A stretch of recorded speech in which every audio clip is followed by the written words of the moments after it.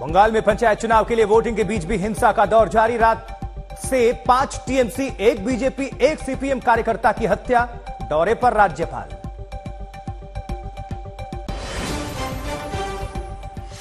NCP में फूट के बाद शरद पवार का पहला इंटरव्यू आज तक से बोले ना थका हूँ ना रिटायर्ड हूँ। 2014, 17 और 2019 में बीजेपी से हुई बात पर गया नहीं साथ।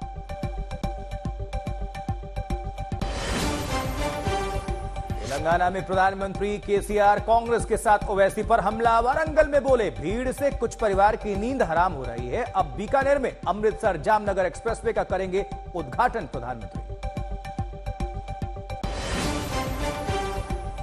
चीन बॉर्डर पर सेना की हुंकार। लद्दाख में 15,000 फीट पर गरजे टैंक और तोप।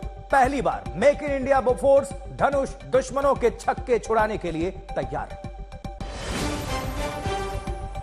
और पहाड़ से मैदान तक बारिश से आफत। जम्मू श्रीनगर को जोड़ने वाली हाईवे सुरंग के पास बही राजधानी दिल्ली में भी भारी बारिश जल जमाव